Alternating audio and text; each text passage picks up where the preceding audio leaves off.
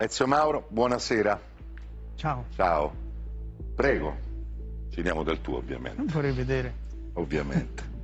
Senti, tu sei stato, hai visto questo, questa lunga chiacchierata di. Herzog con Gorbaciov. Tu sei stato corrispondente da Mosca nel pieno degli anni della perestroica e della glasnost. Che, che atmosfera si respirava? Si respirava un, un- un vento di cambiamento che non si sapeva però dove avrebbe portato. Mentre in Occidente si pensava che il cammino fosse un cammino indirizzato verso la fine del sistema comunista. Eh, lì si capiva che si stavano allentando i bulloni del sistema, ma nello stesso tempo c'era la preoccupazione sulla tenuta complessiva di quel mondo messo in movimento e messo in fibrillazione. Ma scusa, la sensazione che tu avevi è che diciamo, il- la popolazione fosse schierata dalla parte di Gorbaciov oppure no? All'inizio c'è stata una fortissima novità, eh, un senso di cambiamento notevole, basta pensare al, all'aspetto anagrafico. Aveva vent'anni in meno di un leader che nell'ultimo anno non si era mostrato all'opinione pubblica perché era malato e la liturgia comunista non poteva nemmeno pronunciare la malattia che aveva. Si diceva che avesse un Come mai raffreddore. quella nomenclatura punta su un, eh, un politico che non ha nemmeno visto la rivoluzione d'ottobre? Cioè fa una svolta così clamorosa dopo tante facce di pietra granitiche? Ma forse la chiave è in una frase di Gromico, Mm. eh, uno dei, dei dei numi tutelari del partito, dei Sì. padri nobili del partito, Ministro degli esteri per chissà- storico sì, ministro degli storico. esteri, poi presidente del- dell'Unione Sovietica prima di Gorbaciov e nel comitato centrale che deve scegliere il successore di Cernenko, quando si parla di Gorbaciov e qualcuno dice ma è molto giovane, eh, Gromico dice lo conosco bene, vi garantisco che ha i denti d'acciaio. Quindi c'era la scuola, un, bo- un bolscevico di provincia che a 39 anni diventa capo locale del partito, che a 42 anni entra nel comitato centrale e fa la carriera classica. Ma il perché è un'altra ragione. Alla fine della guerra fredda, sul bordo estremo della guerra fredda, finirà con Gorbaciov, il sistema si rende conto che il gigante sovietico ha i piedi d'argilla. Bisogna cambiare per conservarlo. La tragedia di Gorbaciov e la grandezza di Gorbaciov, le due cose contraddittorie, Sì. stanno qui, stanno nel fatto che lui voleva trasformare il sistema per conservarlo. Quindi lui è tutto interno all'orizzonte comunista, lo vuole riformare davvero, lo vuole cambiare per poterlo tenere in piedi. E, e questa sincerità è testimoniata dai viaggi che ha fatto a Cuba quando ha detto a Castro bisogna cambiare per salvare il socialismo e quando l'ha detto a Honecker Certo. ed è stato mh, preso praticamente a male parole da, da entrambi i leader. Beh, non solo gliel'ha detto, gliel'ha proprio fatto vedere anche, diciamo, con la gestualità, no? Sì. Non lo ha baciato, non ha fatto come i suoi predecessori, Ha detto quella frase famosa che rimane indietro verrà punito dalla storia certo. e, e tutta la nomenclatura della DDR ha capito, infatti 10-15 giorni dopo l'ultimo viaggio di Gorbaciov Honecker è saltato, ma il sistema era in decomposizione, poi è caduto il muro di Berlino. Senti, eh, riprendo questa frase di Gromico, lo conosco bene, ai denti d'acciaio. Eh, Gromico sicuramente era forse l'uomo che conosceva meglio il mondo fuori dall'impero sovietico eh, e forse aveva capito che c'era la necessità di questa svolta, ma secondo te era più una svolta che loro immaginavano rispetto all'esterno piuttosto che all'interno oppure volevano davvero che cambiasse anche eh, la struttura, diciamo, della- dell'Unione Sovietica internamente? Non volevano cambiare la struttura ideologica Mm. e quindi le, le ricadute materiali nell'organizzazione del mondo sovietico di questa ideologia che era al potere da 70 anni. Volevano però cambiare la politica, non potevano proseguire la corsa agli armamenti, dovevano svelenire il clima della guerra fredda, non ce la facevano. Nell'89, anno eh, terzo dell'era gorbacioviana, quindi già da tre anni al potere, con tutte le aperture timide di mercato che ha fatto, il 32% delle province sovietiche ha un deficit di carne, il 49% ha un deficit di, di burro, il 53% ha un deficit di pane, quindi siamo in una situazione veramente molto complicata. C'è bisogno di cambiare. Il limite e la portata rivoluzionaria di Gorbaciov sta dentro queste due parole che sono la perestroica e la glasnost. Lui non dice dobbiamo arrivare alla democrazia e dobbiamo arrivare alla verità, usa delle parole intermedie, delle parole filtro, sì, che rappresentano la sua forza di cambiamento e il suo limite. Perestroica che cos'è? Ristrutturazione. Sì. E glasnost è trasparenza. Non è la verità. Non è la verità. Quindi il sistema va ristrutturato. Occorreva quindi una sorta, potremmo dire, di manutenzione speciale. Bisogna mettere mani al sistema in fretta, afferrarlo per il collo per provare a salvarlo, cambiandolo naturalmente. Secondo te, eh, diciamo, l'unico forse predecessore che poteva in qualche modo somigliargli, anche se è morto presto perché stava male, era Andropov forse? Ma eh, Andropov dava, dava um, una garanzia assoluta al partito, era il capo del KGB e quindi il partito si fidava automaticamente delle, delle modernizzazioni che Andropov teorizzava e che non ha avuto tempo di realizzare. Tanto che venuta meno questa garanzia dell'uomo dei servizi segreti, quindi anche del custode del, de, della memoria ideologica del partito, si ritorna alla glaciazione bresneviana, nominando Cernienko, Cernienko. che è l'uomo dell'apparato. Qual è la sensazione del, che, che si respirava a Mosca, che avevano i cittadini? Che quella classe fosse eterna, la chiamavano proprio così, la classe eterna. E secondo, che quella nomenclatura si preoccupasse di occupare il potere più che di gestirlo e quindi di garantire se stessa, senza rendersi conto che in questo immobilismo si consumava in una sorta di autofagia, si divorava mentre governava, perché non governava di fatto, teneva occupato il posto. Senti, ah, però volevo dirti un prego. punto, però, perché tu giustamente sottolineavi la figura di Andropov. Andropov ha un'importanza fondamentale, perché a parte che come KGB controllava i dossier di tutta, tutta la nomenclatura diffusa anche di provincia. Anche oggi abbiamo un presidente che diciamo, ha fatto quello stesso percorso. Non c'è dubbio, non c'è dubbio. Eh, lui nel letto di ospedale della clinica chiama questi giovani della leva del dopodomani, li, li chiama... Tra, e, cui, tra, cui tra, cui, Gorbaciov. e Ligachov, che sarà poi il suo sì, avversario, certo. Compagno di Politburo per tutta la durata dell'avventura gorbacioviana e suo avversario a nome dei tradizionalisti, della, della destra, dei conservatori, opponendosi alle riforme. Li chiama, li misura, li pesa, crea una rete tra di loro e, e, e nei suoi colloqui con i maggiorenti del partito dice il giorno che si decidesse di saltare una generazione, gli uomini ci sono, teneteli d'occhio, c'è la glaciazione di Cernienko, si capisce che non si può andare avanti così e dopo la morte di Cernienko, due morti di due leader in pochi anni, dopo il lungo periodo bresneviano, si decide di fare il salto perché il sistema non può resistere, il sistema rischia di, di, di cedere, di, di, implodere e quindi sa, si arriva... Chissà perché forse dico una sciocchezza, ma Cernenko in qualche modo mi ricorda Longo, no? quell'interregno di Longo nel, nel PC eh, italiano che era diciamo prima di Berlinguer. No? Sì, Longo ha un passato più titolato, lavora con Gramsci, c'è, eh, c'è, quella Torino di, di, di quegli anni di, del biennio rosso alle spalle, però certamente i partiti comunisti hanno dei momenti di transizione dove gli uomini rappresentano nella transizione la conservazione, sì. si arroccano, pensano prima di tutto a conservarsi e proteggersi. Senti, siccome non fu indifferente la svolta di Gorbaciov rispetto anche agli altri partiti comunisti europei, prima di tutto quello italiano che era il più importante in Europa, ti faccio sentire cosa dice D'Alema di quella, di quella svolta.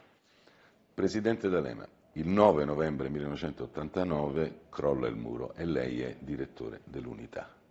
Come vive quella sera, quella notte? Beh, come un grande evento, non soltanto perché evidentemente diciamo, dal punto di vista giornalistico era un grande evento. Noi avevamo la percezione esatta che, che stavamo vivendo un momento della storia, insomma, della storia collettiva, ma anche della storia politica e persino anche della storia personale. Ma fu una sorpresa o vi eravate accorti da qualche mese, da, diciamo, da un po' di tempo, che la situazione era una situazione che andava verso quella soluzione? Non eravamo sorpresi del fatto che stesse sgretolando un mondo. eh, poi naturalmente quel processo ha avuto un'accelerazione particolare, io credo molto anche dovuta alla personalità di Gorbaciov era convinto che quel sistema andava abbattuto. Il vecchio establishment lo considerava un pericolo, un elemento eversivo, poi alla fine cercarono anche di, di, di fargli un colpo di Stato, diciamo. Una volta gli, glielo chiesi direttamente in una conversazione privata, lui venne in Italia, io ero segretario del Partito Democratico della Sinistra, lo ospitammo quindi parlo del 95, 95 mi pare.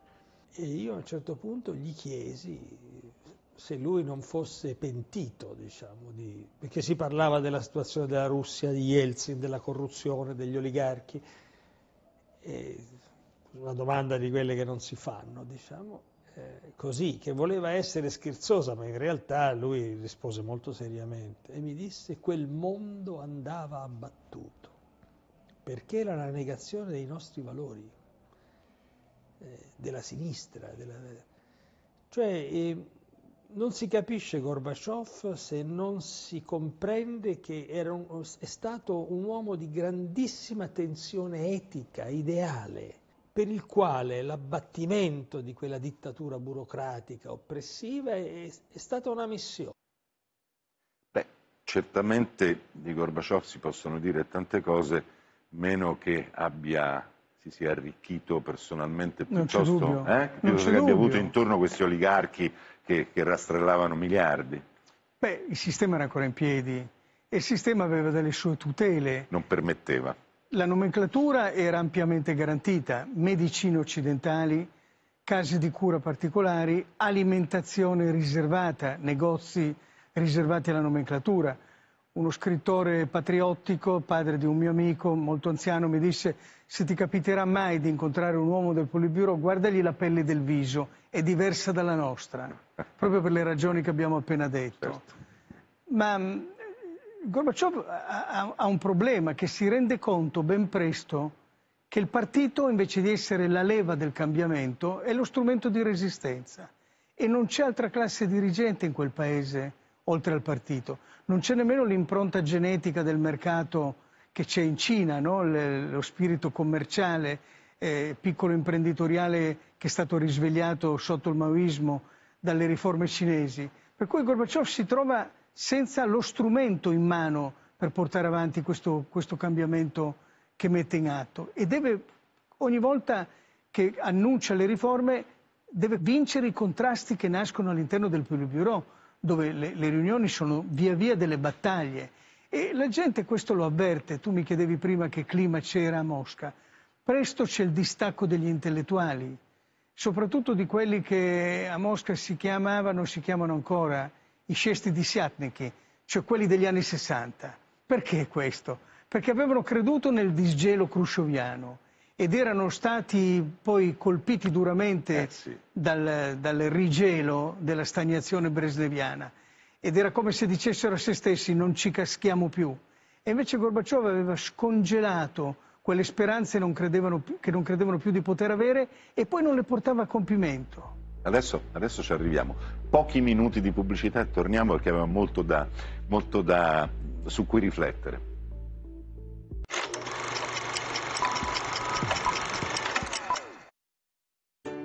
Il solito? È il segreto di Benedetta. Ormai lo sanno che il mio segreto è golfetta, fatto solo di carni di prosciutto. Ma io ho già un nuovo segreto. È Bresi. Golfetta e Bresi, tutto il gusto della leggerezza. Quello che stiamo creando insieme è prezioso.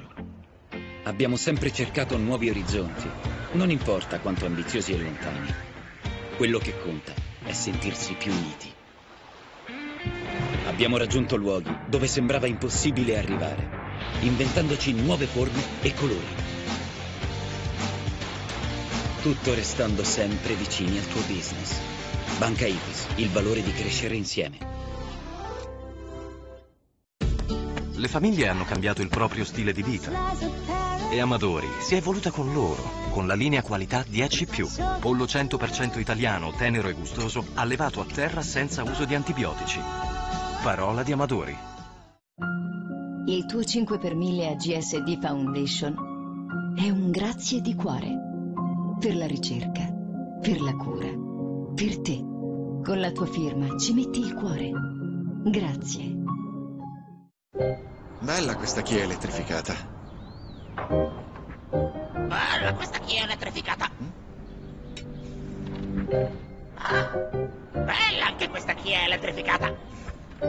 Hai appena detto anche? Hai appena detto anche? Aggiornati, la gamma elettrificata Kia è tua da 159 euro al mese con vantaggi fino a 12.500 euro. Elettrica, hybrid o plug-in hybrid. Scopri su kia.com e in concessionaria la tecnologia perfetta per te. A settembre siamo sempre aperti. Kia, the power to surprise. In questi mesi abbiamo compreso il valore della parola indispensabile, come lo sono gli amici, gli affetti. Da Conad fino al 31 dicembre continuate a trovare centinaia di prodotti indispensabili a prezzi bassi e fissi, mai così tanti, mai così a lungo. Quando pulisci la fatica sembra infinita. Passa Smack Express! Super efficace, si risciacqua in una sola passata. La fatica sparisce. Smack Express. Più pulito, meno fatica. Non ci pensare, tira.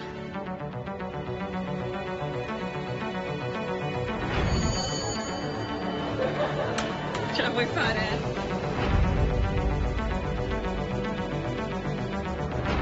Non è il suono più bello del mondo.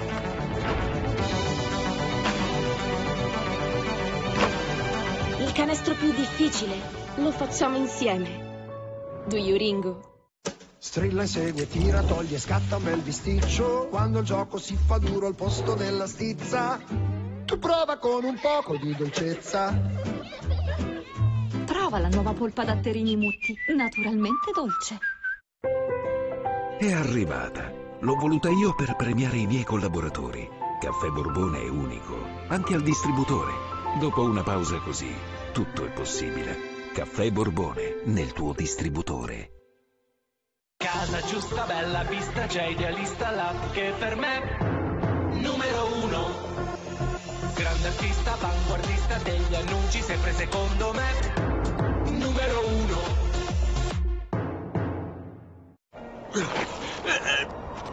Resisti! Mi fa malissimo il gomito! Epicondilite. Certo, ci vorrebbe un'ecografia. Ma sì, figurati, ci vogliono mesi. Non ci vogliono mesi, ci vuole una polizza. Allora? Epicondilite. Ma come facevi a saperlo? Io guardo avanti, per questo ho scelto Unipolsai anche per l'assicurazione salute. Prenoti subito la tua visita specialistica evitando lunghe attese. Basta usare l'app, più veloce di così. Scegli il futuro. Unipolsai, sempre un passo avanti. Albertina. Sempre più persone assomigliano a Einstein perché hanno scoperto la spesa intelligente da Eurospin. Aggiungendo prodotti aumenta la convenienza. In pratica più compri, più risparmi. E i soldi che risparmi da Eurospin li puoi spendere per goderti la vita. E io ho scoperto questa offerta. I grandi del risparmio. Spaghetti e mezze penne rigate Tremolini, confezione da un chilo e mezzo a 85 centesimi. Eurospin,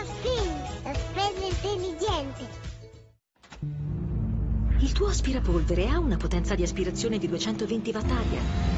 Cattura il 99,97% delle particelle fini di polvere ed espelle aria più pulita. La tecnologia Dyson ti aiuta ad avere una casa più pulita. Non conta solo dove siamo diretti, ma anche come ci arriviamo. Scopri le nuove Jeep 4 per e plug-in hybrid. Jeep Renegade e Jeep Compass 2 da 249 e 329 euro al mese. E decidi tu quando inizi a pagare. Ti aspettiamo sabato e domenica.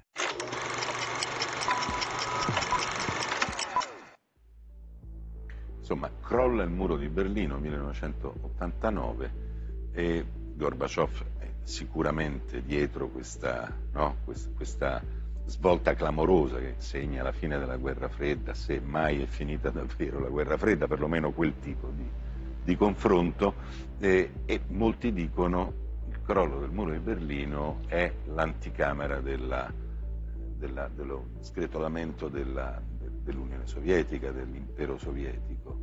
Eh, Gorbaciov era consapevole diciamo, di avere acceso una miccia senza sapere poi dove sarebbe esplosa questa, questa cercato, bomba. Ha cercato di resistere alla, alla, riunificazione della Germania.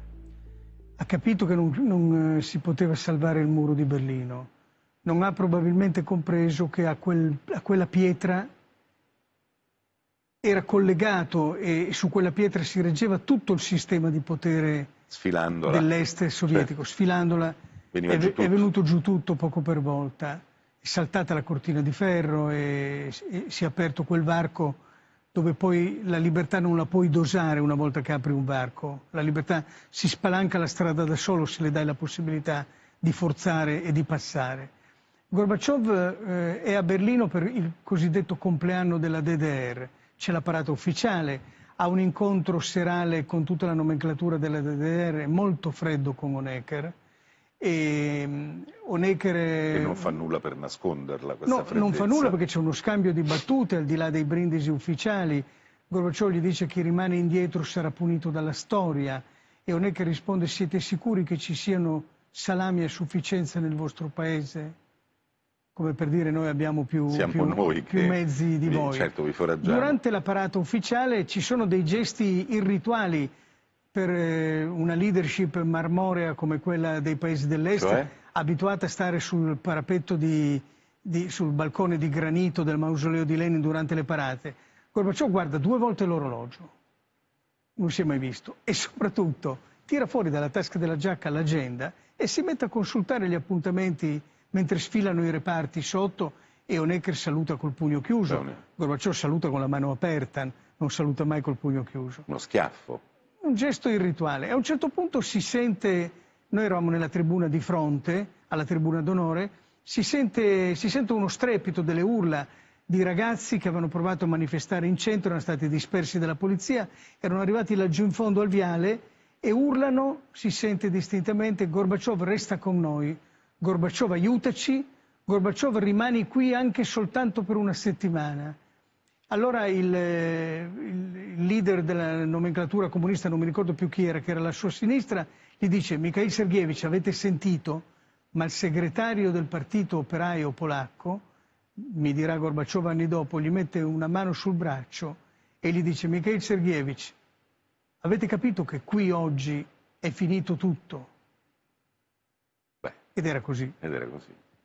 Senti, a un certo punto Gorbaciov sembra perdere lucidità e siamo, diciamo, nella fase più complessa che è quella in cui, come dicevi tu, quando dai la libertà, la libertà si fa strada da sola, le repubbliche cercano l'indipendenza, lui inizialmente, diciamo, in qualche modo sostiene questa, questa richiesta, poi decide di mandare eh, l'esercito e, e, poi improvvisamente c'è quel colpo di Stato su cui molti hanno il sospetto che non si capisce era davvero un colpo di Stato, non lo era, ma insomma lui ne esce a pezzi da quella, da quella storia. Come, come, te la ricordi? Ma eh, diciamo che il processo di, di cambiamento corre velocemente eh, l'apertura alle riforme di Gorbaciov, sia pure approssimativa, rimette in movimento la storia, la storia si mette a correre e, e non la controlli più, non sei in grado di dettare tu il ritmo della storia. Per cui Gorbaciov rimane in alcune zone sopravanzato. Nelle repubbliche asiatiche, nelle repubbliche caucasiche si urla a morte Gorbaciov, mentre l'Ayatollah Khomeini manda una lettera al Politburo dicendo è chiaro come il cristallo che l'Islam erediterà le Russie. Nei paesi baltici improvvisamente a, a Tallinn, sotto lo, lo sguardo della telecamera numero due, mi ricordo una sera i partecipanti alla riunione si mettono a parlare in estone, sacrilegio, non parlano in russo ma parlano in estone. A Vilnius abbiamo visto un milione di persone marciare dietro una croce, in, in un paese che faceva parte delle repubbliche... Cioè quella catena umana Incredibile. Quella catena umana. Naturalmente i movimenti secessionisti, i movimenti indipendentisti creano dei contraccolpi, i conservatori presentano il conto a Gorbaciov. Una volta eravamo con dei colleghi americani a Vilnius, dal capo della, della rivolta Landsbergis al conservatorio musicale dove insegnava, veniva dalla società civile, e gli abbiamo detto ma non c'è il rischio che se continuate a insistere, andare avanti troppo in fretta, mettete in crisi la perestroica e arrivano i conservatori e quindi per voi sarà poi più difficile. Lui è andato alla finestra, ha sollevato la tenda, ha detto la vedete quella statua di Lenin col dito puntato? Noi abbiamo la possibilità di spostare quella mano che punta il dito contro di noi da 70 anni e voi vorreste che non, non compissimo il nostro destino? Eh, insomma era fatta. Era fatta, era fatta. Senti, a un certo punto lui cerca in qualche modo, anche rocambolescamente, di restare in sella, ma poi si deve dimettere. Nel momento in cui si dimette, già internamente no, si, è creata, eh, si, è creato un altro contropotere, quello di Elsi con gli altri presidenti delle, delle repubbliche che lo, che lo sostengono, mentre a Occidente quando si dimette viene celebrato come un eroe e non come l'uomo smunto, pallido che scende dalla scaletta dell'aereo dopo il colpo di Stato. Ti faccio vedere alcune dichiarazioni di leader eh, di, quel, di, quel, periodo, insomma, mondiali, che parlano di lui, che dicono di lui eh, alcune cose dopo che si è dimesso. François Mitterrand, presidente francese, Gorbaciov ha preparato e organizzato l'avvento della libertà e la fine della guerra fredda e il disarmo. Poi andiamo avanti. George Bush Senior. Gorbaciov ha permesso ai popoli dell'URSS di farla finita con decenni di oppressione. Andiamo avanti. Helmut Kohl. Gorbaciov ha fatto uscire il suo paese da oltre 70 anni di torpore. E ancora un'altra la famosa Margaret Thatcher, spero di poter continuare a lavorare insieme al presidente dimissionario dell'ex URSS. Beh, insomma, cioè, dei riconoscimenti che non, non erano stati riservati a nessuno dei suoi predecessori, eppure internamente viene davvero messo da parte. È così. Ricordiamo che il disarmo è stato uno dei principali impegni e, e dei principali risultati che restano nella storia a vantaggio di Gorbaciov. Il rapporto con Reagan, il rapporto con la Thatcher che è la prima leader che, che, che lo sdogana. Vero. Ma poi anche altre cose, il, il, ritorno di alcuni esuli che se n'erano andati eh, perché erano considerati dei dissidenti, il regista Lyubimov che torna al teatro Taganka eh, dove aveva fatto danzare Margherita col maestro portando in scena Bulgakov. Sakharov che torna a Mosca alle, col treno delle sette meno un quarto del mattino, liberato dal confino, il film Pentimento sugli orrori dello stalinismo che viene proiettato a Mosca con una grande attenzione di pubblico, il ritiro delle truppe dall'Afghanistan, non dimentichiamolo, questi sono, sono dei risultati eh, importantissimi. Scatta il golpe comunista, che è un golpe autentico, Mm, il pressapochismo di queste persone non deve farci dimenticare chi erano i protagonisti, il quadrilatero classico del potere, il capo del Yanayev il capo dell'apparato del partito, Kryuchkov il capo del KGB, il capo delle truppe speciali e il capo dell'esercito. Un golpe comunista classico che conferma quello che si dice a Mosca da, da secoli. Il potere può essere solo sanguinario o insanguinato quindi il, il Partito Comunista si è lasciato deformare, ma non si è lasciato riformare, ha resistito al cambiamento. E qui c'è tutta la tragedia gorbacioviana, perché noi occidentali lo salutiamo, come confermano queste immagini, queste frasi che tu hai citato, come il primo riformatore di quel sì. paese. I sovietici, i russi, lo vedono come l'ultimo segretario generale, il primo e l'ultimo nello stesso tempo. Questo spiega anche perché Yeltsin si è attirato il consenso dell'opinione pubblica quando è salito su quel carro armato, perché si era ribellato al partito, aveva avuto la forza di ribellarsi al potere costituito e quindi era salutato come una persona di cui il popolo si, si poteva fidare in qualche modo. E, e, e Yeltsin, quando sfida Gorbaciov ed è presidente della Russia, fa sì che Gorbaciov si trovi capo dell'Unione Sovietica con il Baltico eh, che, che, prova ad andarsene per la sua strada, le repubbliche caucasiche che fibrillano e la Russia che si autonomizza. Diventa Mikhail senza terra. Eh certo, eh certo. Senti, hai visto in questa intervista di Herzog eh, Gorbaciov imbozzito, molto, no? molto, molto malinconico, tragico, tragico nel senso proprio greco del termine, se vogliamo. Eh, secondo te lascia un'eredità eh, Gorbaciov rispetto a quello che ha fatto nella Russia di oggi? Beh, la storia ricorderà il suo posto non aveva probabilmente una teoria compiuta del cambiamento. Mm. Si brucia nell'ansia di rinnovare per necessità, la necessità diventa una politica a un certo punto, per l'ansia di rinnovare si brucia le sponde che aveva alle spalle, ma non arriverà mai a toccare la sponda della democrazia.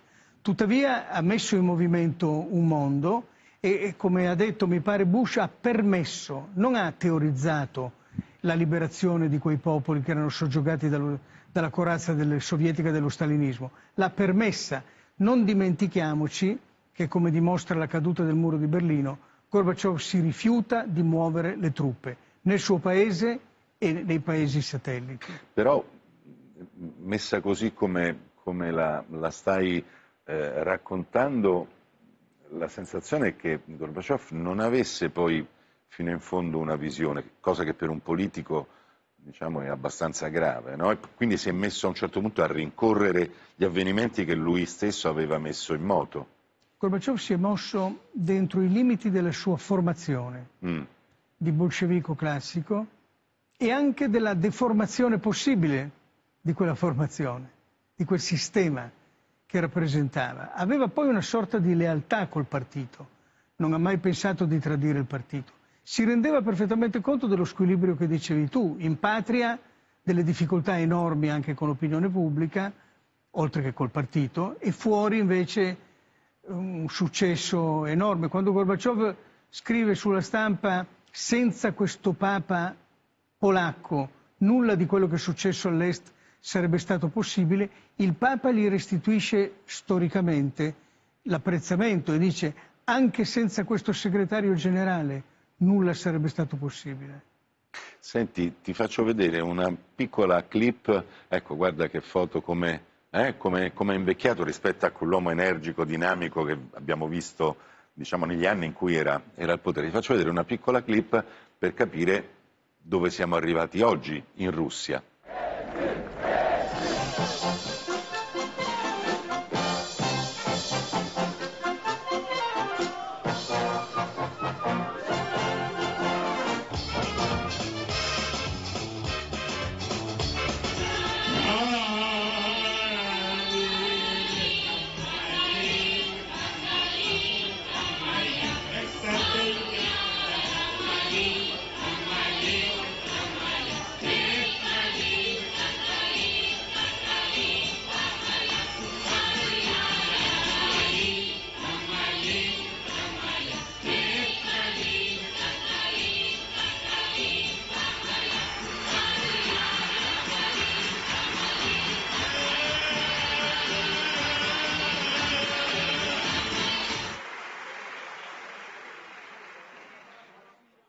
Questo è il successore, Corvo Bianco, Boris Yeltsin, che insomma, voglio dire, era conosciuto da tutti per la sua debolezza diciamo, nei confronti dell'alcol.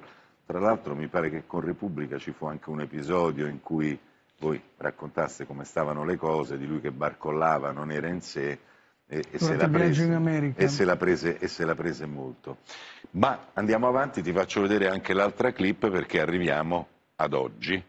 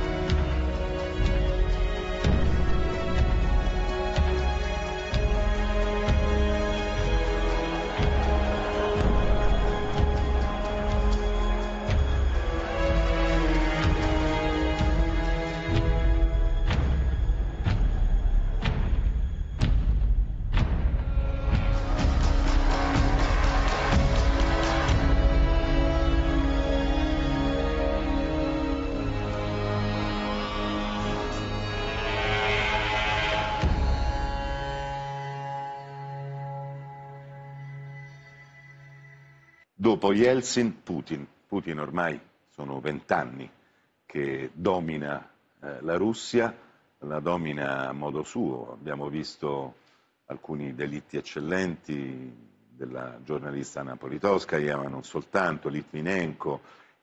Oggi si sta parlando dell'avvelenamento di Navalny, che è il suo oppositore diciamo, più, più accanito, più feroce, più, più strutturato. Eh, che, che, cosa, che Russia è rispetto all'Unione Sovietica di Gorbaciov e Putin rispetto a Gorbaciov? Ma diciamo che se parli con eh, gli amici russi, anche quelli che sono individualmente all'opposizione rispetto al potere di Putin, ti dicono che il periodo di Yeltsin è stato un periodo di umiliazione da parte dell'Occidente, perché l'Occidente ha creduto in, quel, in quegli anni che l'URSS potesse essere ridotta al rango di potenza regionale. Controllabile. Che la Russia, scusa, sì, non l'URSS. certo, quindi controllabile. Quindi controllabile e non rilevante sul piano delle grandi potenze. Dimenticandosi che, che la Russia ha un'anima imperiale eterna, che c'era prima dell'Unione Sovietica e dura dopo nel sentimento popolare. E Putin in qualche modo, questa è la ragione del suo consenso nonostante tutto, l'ha risvegliata, l'ha, titillata. L'ha spazzolata. L'ha spazzolata, l'ha restituita eh, in qualche misura.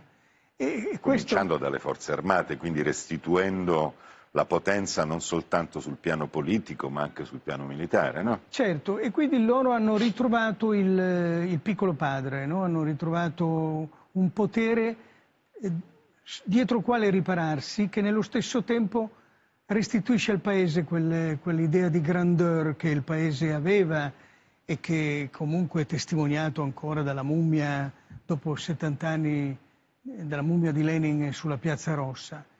Questa è, è, la ragione del consenso di Putin. Eh, nello stesso tempo le libertà vengono messe fortemente in discussione eh sì. E siamo arrivati al punto che Putin ha addirittura teorizzato la dissociazione possibile tra la cultura liberale e la democrazia.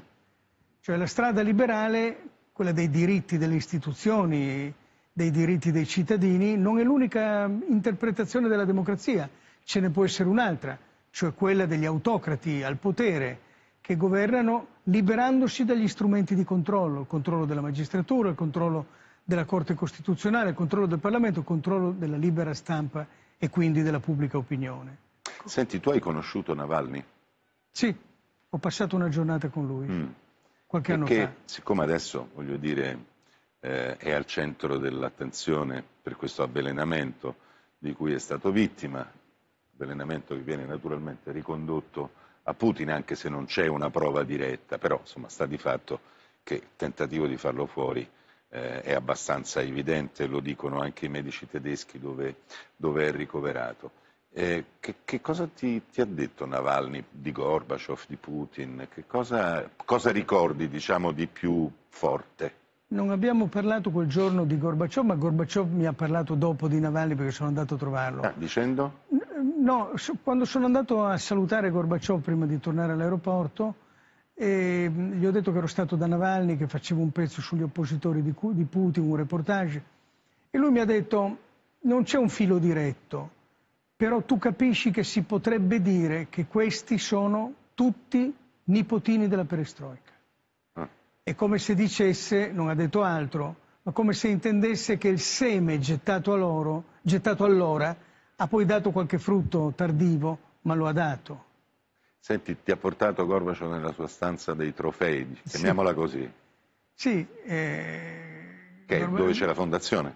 Dove c'è la fondazione c'ero andato nel, nel 90, nel 92, poi negli anni successivi a trovarlo e questa fondazione si è via via rimpicciolita gli hanno preso delle stanze, poi gli hanno preso un piano, poi gli hanno preso tre piani, adesso è ridotta eh, alla stanza di Gorbaciov, alla stanza dei suoi collaboratori e c'è la stanza dei trofei dove lui fa, fa passeggiare gli ospiti e ci sono i regali che ha ricevuto, le targhe, ma ci sono le fotografie.